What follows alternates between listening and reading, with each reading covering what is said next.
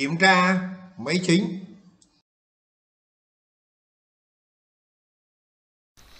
Kiểm tra bảo vệ máy chính khi áp lực dầu bôi trơn thấp và tốc độ diesel vượt quá 15% tốc độ định mức. Thử áp lực dầu bôi trơn theo hai cách. Cách 1 đang có áp lực dầu bôi trơn, ta tắt bơm dầu. Cách 2 không chạy dầu bôi, bơm dầu bôi trơn. Trong trường hợp này đấy là chúng ta đang cho bơm dầu LO chạy, và chúng ta có áp lực dầu bôi trơn. Và lúc này thì không có một cái tín hiệu báo động nào, phải không ạ?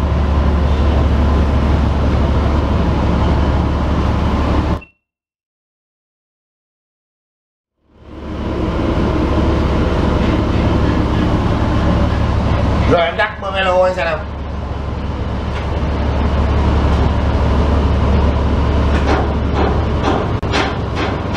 Đừng bọc vào đấy.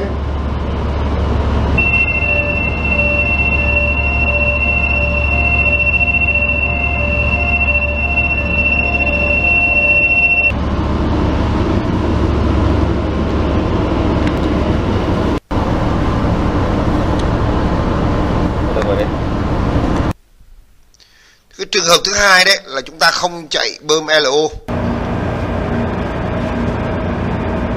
Bây giờ em ờ, tức là bây giờ máy chính của em là không có báo động gì đúng không mà mà mà là không có làm gì cả.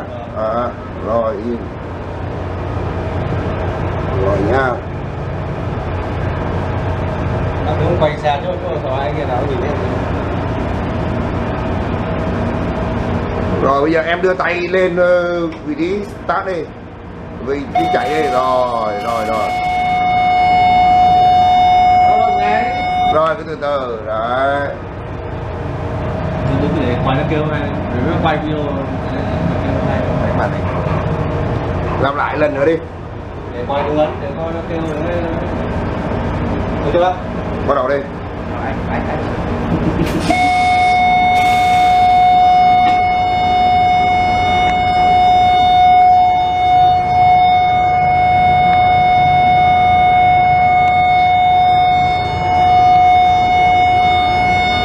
Cho tay này về không là bắt đầu rồi em cho về reset là Thế thì chỉnh cái relay Kuranmo này đấy thì đầu tiên là chúng ta sẽ đưa kim vàng về về không. Sau đó thì chúng ta sẽ đưa cái kim đỏ này về không. đấy mày mày chỉnh cái là Vi phạm mà, để cho chị. Không, không, không. Anh được. Cái cánh cửa em. Vâng. rồi mình chỉnh vàng đi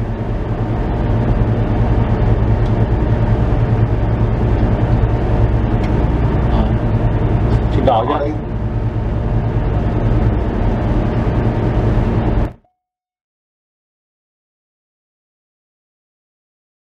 Đỏ về đi Đỏ về đâu đi chứ? tự để im lên đi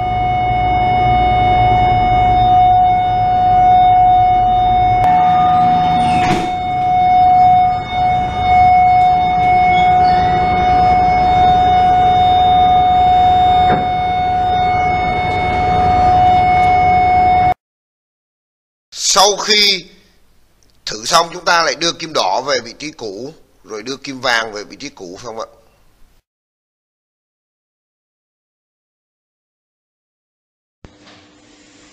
Vì lý do an toàn thiết bị không nên thử overspeed theo phương pháp này. Kiểm tra overspeed của hệ thống NAPCO Và test đúng không? Vâng.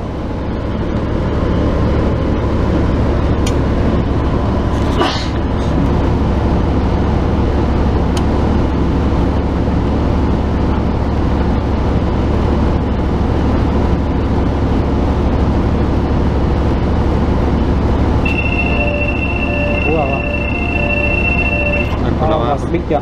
Chưa chưa, 188 ấy, anh quay lên 188 Rồi Không có biết rồi đấy, số cao máy rồi Rồi đấy. à, Em trăm tám, trăm chín này chưa? Rồi đây á. Đừng đừng ấy. Đừng nhắn bác.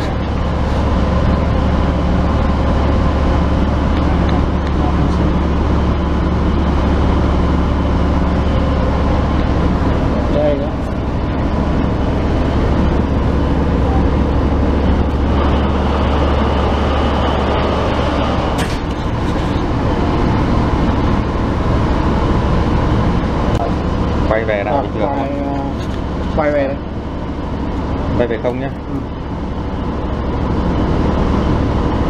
quay như thôi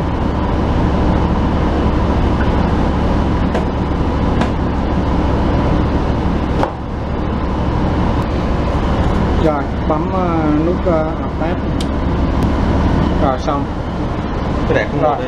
ờ kẻ nó xong tab Van điện tử dừng sự cố khi áp lực dầu nhờn thấp hơn giá trị cho phép, khi nhiệt độ nước làm mát cao hơn giá trị cho phép, khi tốc độ máy diesel vượt quá 15% tốc độ định mức. Tín hiệu dừng máy được gửi tới van điện tử để dừng máy. Tuy nhiên, có nhiều trường hợp van điện tử không trực tiếp làm dừng máy mà nó sẽ kích hoạt tới cơ cấu dừng máy, đặc biệt đối với những máy công suất lớn. Cơ cấu dừng sự cố máy chính hoặc là diesel là việc khác thì có nhận tín hiệu từ từ van điện tử dừng, dừng sự cố. Ta nhìn thấy ở đây là một cơ cấu dừng máy nó là một cái thông gió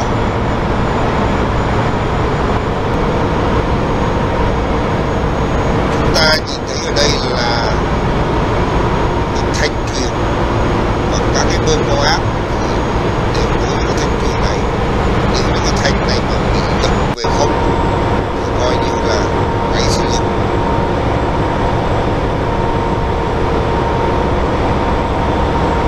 chúng ta nhìn thấy hoạt động của cái thông gió như sau. Thì khóa lại bây giờ tự do khi nó